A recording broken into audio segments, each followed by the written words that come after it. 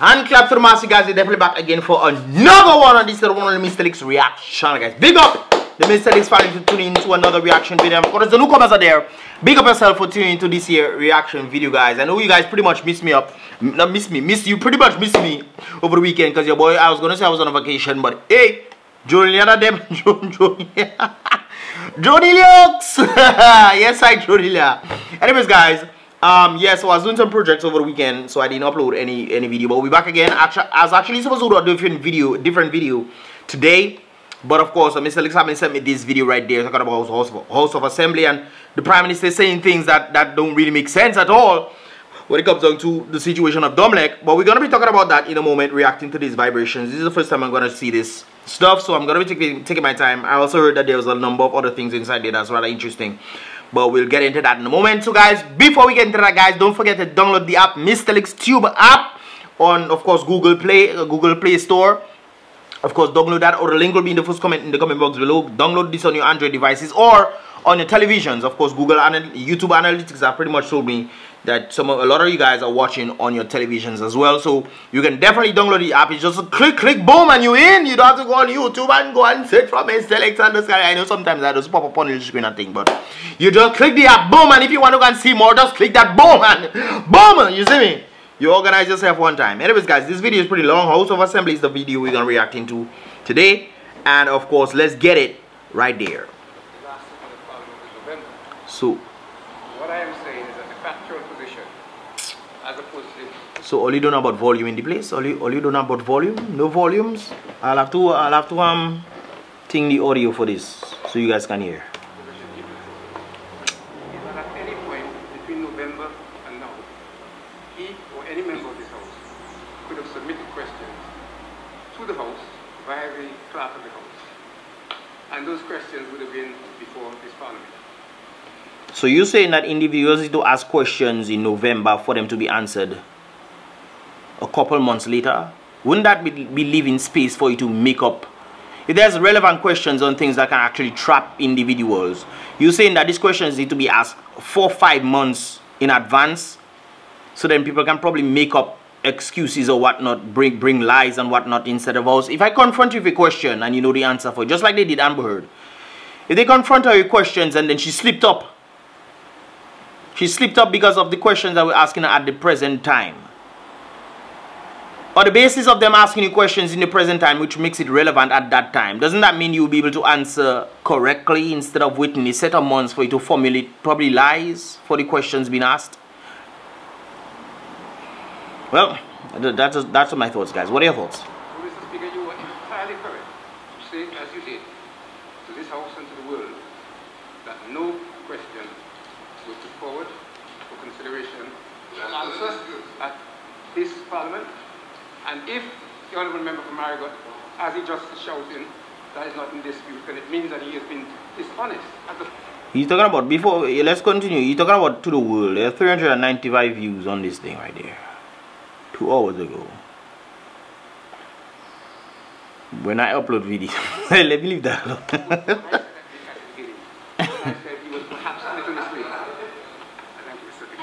The honorable leader of the opposition. Dishonest, dishonest about what?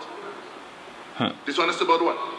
Mr. Mr. Speaker, the interjection by the honorable member was that the effectively he was saying that there was no dispute that there was the opportunity to ask the question. That is not what he told the House when he stood up a moment ago in his, in his contribution. And whether or not he is happy with my, my, my characterization, then that's a matter for him. But I have no intention of withdrawing what I said.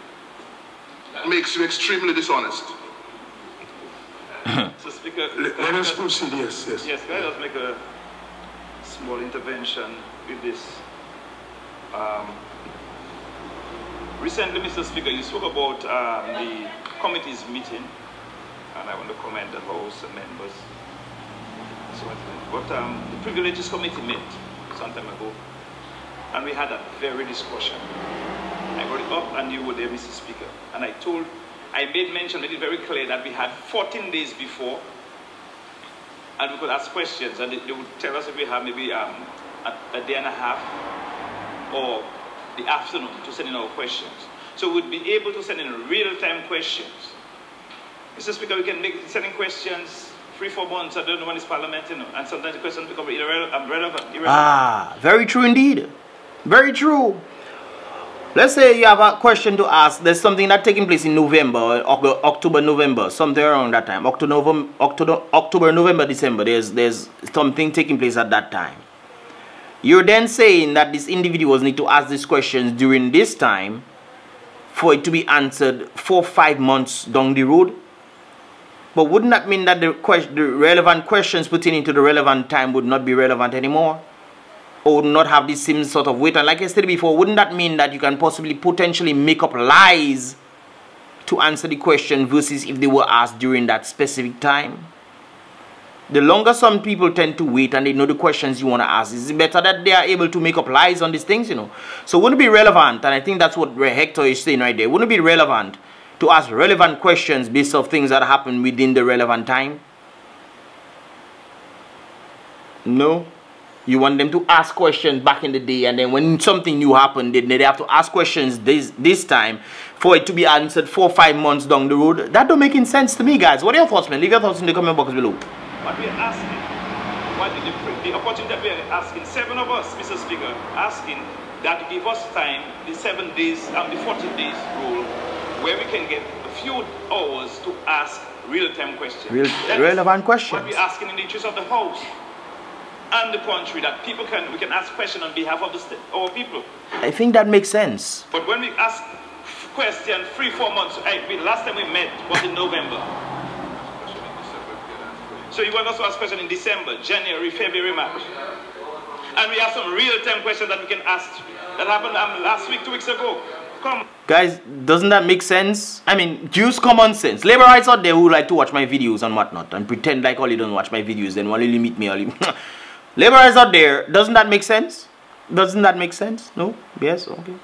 That is what we ask. That is what the member of parliament is asking for, my And we, we raised that concern with you, Mr. Speaker. and I, I was very disappointed when you, you spoke and didn't make mention of that. Yeah, so they made that they made that suggestion to them and they did nothing in regard. Member, you did not raise that question with me. You had a, you at a privileges committee meeting and we cannot discuss the details of the meeting there because it's not like hold on, just me just make the point. We have not placed a report that we can discuss. You made a point, and that's why I said, when we meet at the different committees, we'll make recommendations. So that means he did. that means he did. You say he didn't ask the questions and this kind of things. You say he made a point at that particular time. He did. So wouldn't it be necessary and vital to then make the necessary channels, make the process happen? If that is not the present case, wouldn't that be? I mean, that, why we wasting? This is the rules in regards to questions are very, very clear. If we think that we need to improve and we think it's a continuous process of improvement, then we'll make those recommendations. For example, to the Standing Orders Committee, we'll bring the has that been done? Recommendations to the House, the entire House, and the entire House will determine whether or not the House agrees or disagrees. But, but I mean, but we are just, we gave a report. A report was factual in regards to whether we received questions or not. So let's move on. I allowed everyone to at least make, a, make an in, intervention. And, and pertaining to that, if they, I, I'm not sure if they ask questions, but if they didn't ask questions, and like I said before, I don't think it makes sense. But hey, if you're asking questions in December and whatnot for it to get answered, maybe you should ask the questions in truth. Ask the questions in truth for you to get some answers, whether irrelevant or relevant. What are your thoughts, guys? I think if the UWP, that, that's the rule of, of the thing, then they need to ask the questions in November for them to get answered. But that still gives precedence for them to lie. So asking these questions back in the day doesn't make any sense. But if you want to get an answer, whether it's the truth or a lie, that's up to you, I guess. But if that is the standing rule in this in this place, then then then think. But at the same time, like I said before, it doesn't make sense to be asking irrelevant questions that are not pertaining to relevance. It doesn't. So we proceed. Yes, Honorable Prime Minister. Enable the point, but I think the records need to be clear that every sitting of this House has been convened and conducted within the rules, respecting the rules. That's yes. important. Yes. Prime Minister, you talking about rules? Scared? You you talking about respecting the rules? That's one. Secondly, if if if if there are people who believe that they need more time, I, agree with you, Mr. Speaker, that we could look at this at the privileges committee or the standards committee and so. But we don't want, we don't trust it, but, but every every opposition party since, since before independence and especially post independence have conducted their house within the rules. And they've always presented questions. But if the rules not making sense, then that means the rules need to change. And if that has been happening over time, over time again, and the relevant questions being asked at the relevant time is not getting answered, that means it's a fail. No? Anyways, let's move on. Over the relevant committees. Um, so let us proceed. I heard that there was a Domlec issue. On the appropriate date from I don't hear Mr. Dembe. Speaker, I will be taking all stages of the bill shortly entitled. That's nice. Proceedings. Oh, I don't even hear that one. I beg to give notice. Who's Mr.? Oh, never mind. To give notice. Let me see what he giving notice to. Association for Financing of a Disaster Risk Management Development Policy with a catastrophic deferred auction standing in the name of the Honorable Prime Minister, Minister for Finance, Investment, Telecommunication and Broadcasting. Well, first of all, what is that? What is that? Huh? Use a, use a fashion police or something? What is that? I thought everybody had to dress in black. No, if I understanding, everybody dressing in black eh? Everybody dressed in black, brothers and sisters. Well, look, one that don't really dress in black, but she's a woman, so they can be different. But normally fellas dressed in black, eh? Well, uncle side, he's a pimp. Anyways, I'm not interested no more. Well, you'll check that out. On April 1, 2022. I think that's it. The government of Dominica regained control, controlling Domlec. interest in the Dominica electricity. Yep, that's it right there. While on March 30, 2022, through national media, I told the nation of government's intention to acquire then Domlec majority shareholder, Emera Incorporated shares in the company, and subsequently confirmed the acquisition, I believe that this pivotal, strategic, and historic accomplishment by this Dominican Labour Party-led government for the people of Dominica should be recorded in the Hansard of this Honorable House. Mr. Speaker, let me make this clear. The United Workers' Party was mistaken and short-sighted when it sold government's 72% share ownership in Domlec on such generous terms.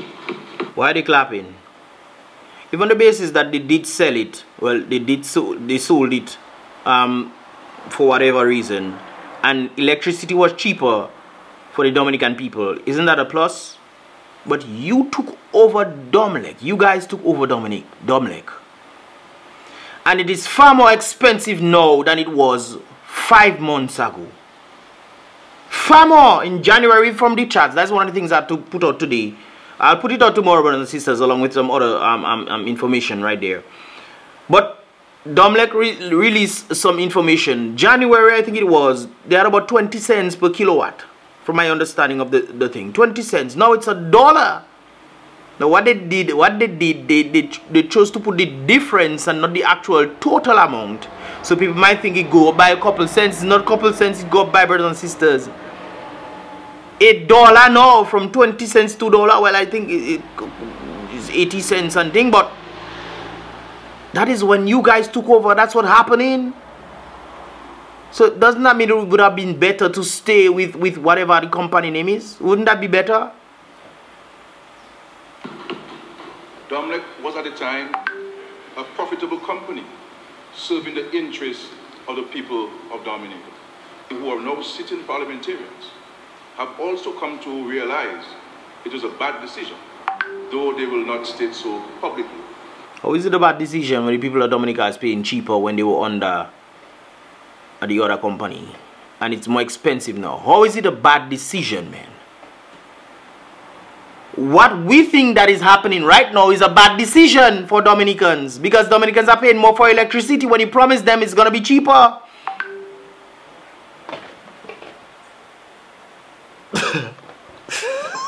Sometimes I think it's that stupid, you know. Me as a Ted Calbas. On March 31, 2022, the government of Dominica purchased all of the shares of, Dom, of Dominica 1 2022, 407,394 shares.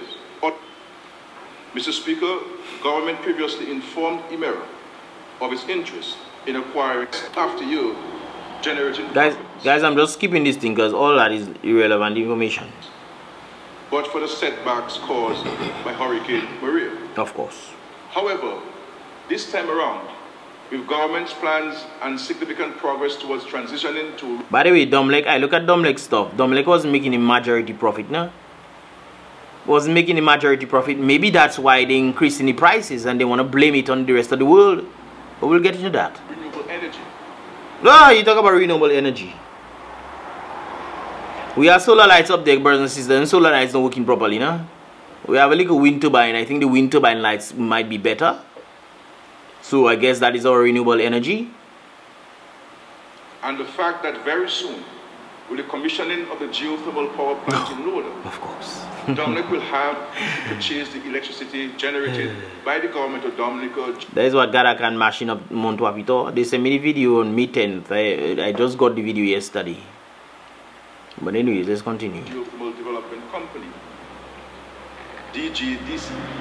Emera agreed to negotiate divesting its shares to the government. Okay, that's great. which is EC $3.50 per share. EC 18.9 million million dollars or 28.6 noted the current listed price of a Domlec share. That is $3.50. And you have noted also that government only bought back 51.9% of the shares which means if the Unayukas party had not sold the 72% of the shares that government owned for $21 million, these shares would have been worth at least $26.3 million today. And then, Mr. Speaker, add to that the dividend Making the basis on how much it would have worth versus the impact that it has on the people. I mean, are we blind and stupid at the same time?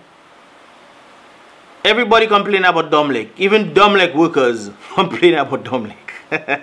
because they too in the blonde. They must I think they wanna get some discount. No, they don't get no discount. Domlec workers complain about Domlec. Bank workers complain about Domlec. Teachers complain about Domlec. People, farmers complain about. Fishermen complain about. Mayors complain about Domlec. I never hear them complain down like Domlec. I know back in the day when they used to take like plenty thing, but that Domlec has paid to his shareholders since the sale of the Udall bin in 12 financial years. Domlec paid dividends totaling $24.8 million. The only years In total? that period where there were no dividends were 2018 and 2019 because of Hurricane Maria. Of the $24.8 million paid in dividends during 2009 and 2020, I know that. I know that, guys. I know that. I know that. 2009 to 2020. That's 11 years. 11 years divided by, what is it, 24?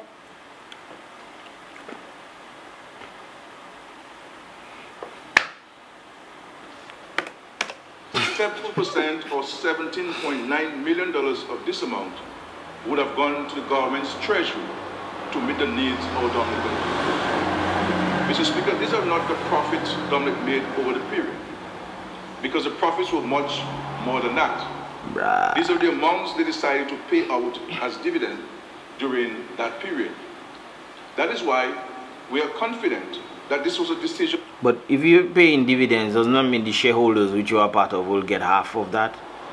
Which means that some went to to the um, other shareholders and 51.9, well, based off what is present I'm talking about right now. If that is the basis of the whole thing, 51.9% would go to to thing, which is 1 point 1 point something 1 point 1.2 1.2 million 24 yeah 1.2 million per year which means about 500,000 dollars was was given to the the government of Dominica per year and then the other 500,000. That's why I tell you guys, 500,000 shared amongst, how much shareholders it have? in the interest of the people of Dominica. We, as a people, and remember, half of it, brothers and sisters, was $500,000, which means the other $500,000 was shared amongst a lot of people. How much shares is there? That's how you have to divide it, brothers and sisters. You to experience the negative impact of fossil fuel generated electricity on, on our electricity bills and our finances is immediate. Furthermore, we are all aware of the negative environmental impact of electricity generation using diesel generators. Last but not least at all, I know that every Dominican is looking forward to the day when fuel surcharge, in general, will be no more on our electricity bills, and we have lower cost of electricity from our own renewable resources. I agree that we want renewable resources, but it needs to be done properly. You see what happened in America? They try to remove fuel and whatnot and try to go in and create utter chaos on the system. That's why it's important for people to know what is taking place outside the world, not just in Dominica. So when the Prime Minister them come in and say their thing, you wouldn't just fall for it. And then the same thing that is being happening in the United States, they blaming the Russia for it. They blaming Russia for it. When they have their own gas in the yard, they refuse to do, they, they, they, own oil in the yard, they refuse to do it. They refuse to because they say they want they they trying to prevent um this what do you call that for climate change. They refuse to do it, so they go into other countries instead of taking it and then causing chaos in their own country. And then they blaming it not on themselves, you know, but they blaming gas prices on what is taking place in Russia. And they were the instigators, you know. But they will leave that there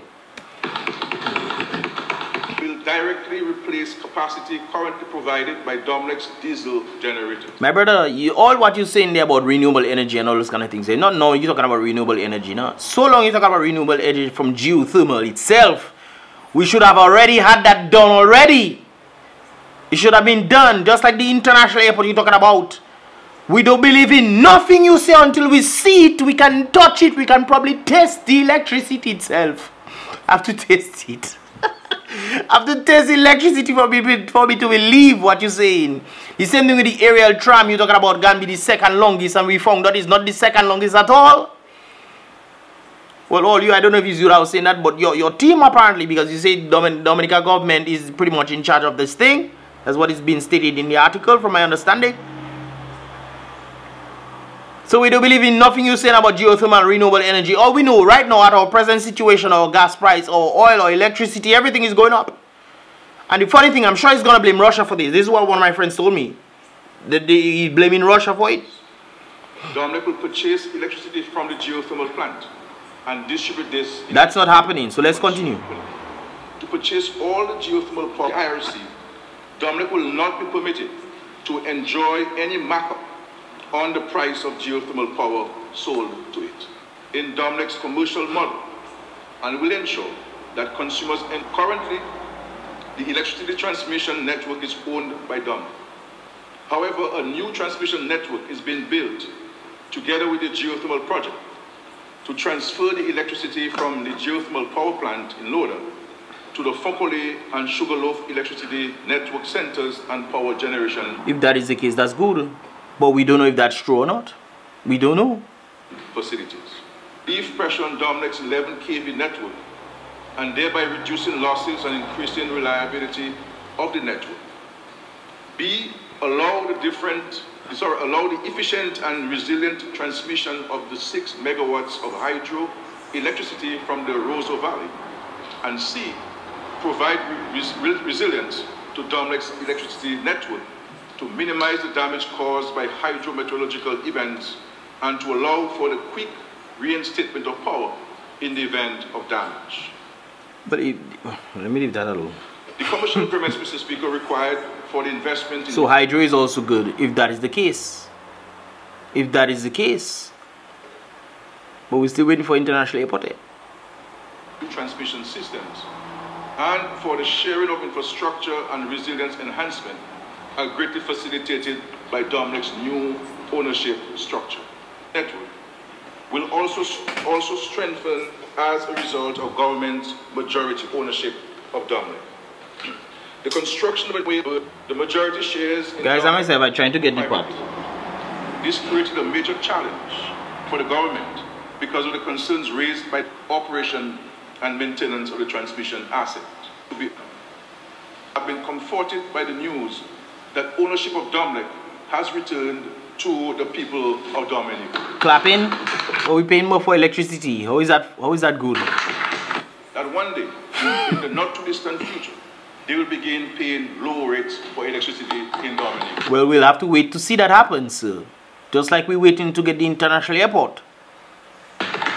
Worldwide. You can see the impact on the cost of petroleum and petroleum products worldwide, resulting in a corresponding increase in the cost of electricity. Ukraine war. We are experiencing trying times. The Russian-Ukraine war is having severe impact on the cost of petroleum, petroleum. But guys, what we get, we getting our oils and stuff from Russia. Not from Venezuela and Trinidad, we getting oils now. Not from there. What Russia and Ukraine will have to do with Dominica? Are We getting oil from over there? Worldwide, resulting in a corresponding increase in the cost of electricity. This government and people believe that way. People believe that is doing everything within its control to reduce the impact on families and businesses. You mean everything except minimizing the VAT, which will of course decrease the price on electricity. But government wants to maintain the same amount of money and not back bond that. Because if you're getting 15% on a hundred dollars, you'll get $15. 15% on a hundred and fifty dollars is not $15. Okay guys? Keep that in mind. 15, 7.5, 20, 22, 22.5. That means you get 22.5 on a 150%. $150. 15%. Versus getting on a 100. If you decrease that amount and it goes to 150, that means if you get in 10%, you'll get the same $100. 115 the same $15 mark you on the $150. If you wanted to do that, you would decrease VAT if VAT was a hundred, uh, if VAT was 15 percent on a hundred dollars, and it and, and the hundred dollars increased to 150 um 150 dollars. If you decrease VAT by five percent, you will get the same amount of money. But no, you don't want to do that. You want to maintain that you get more. You want to get 22.5 $22.5 instead of getting $15 mathematics is not a hard subject you know brothers and sisters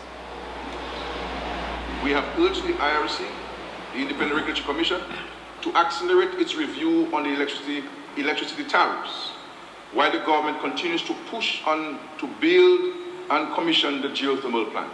Decrease VAT, sir. Decrease VAT on, on, on, on oils and these things, on gas and all, all those things there. Decrease it. You want to keep it the same and then tell people you're trying to... But that's the thing that make me vex about people, you know. And they'll swallow the scrap easy. We are confident, Mr. Speaker, that with a reduction in the tariffs by the IRC, we can experience a reduction in the electricity rates in the, in the meantime. So you want the reductions on the tariffs, but not on VAT? And so we are urging the, IRC to complete their assessment and evaluation and to make clear recommendations on a reduction in tax. But so you can decrease the VAT. I don't understand. It's not a difficult thing. The government is the one receiving VAT. Say, hey guys, we need to decrease the VAT on these things. Bring it to 10%, you will still be getting money, you know. But just that there will be less burden on the people. If you so care about the people. But we know, we know the whole thing already. Anyways, guys, I reached 19 minutes of this thing right there. But this is pretty much all I'll be reacting to right there, guys. This is what they pointed out to me right there. So, on the basis of electricity, we know that he's saying about geothermal and whatnot, which I think is, I don't, I don't, I don't, I don't, I'm not for the geothermal part, I'm for the solar and hydro part. But if you want to put it geothermal, please don't stop destroying the, the, the, the natural habitats that we have to create geothermal. Geothermal can also affect the outer layers, you know, if you don't full up in, internal, if you have intakes inside there, that is problem. The earth will sink. Different things can happen, natural disasters. ah, boy. Guys, do your research on the impacts of, of geothermal and you see for yourself. Anyways, guys, this is pretty much all I about for this reaction video. I'll post this link in the description below so you guys can definitely check it out and of course i'll see you guys in the next reaction, next, video don't forget to give this video a thumbs up subscribe and turn on the post notification and download the app mr Tube. i'll see you guys in the next one goodbye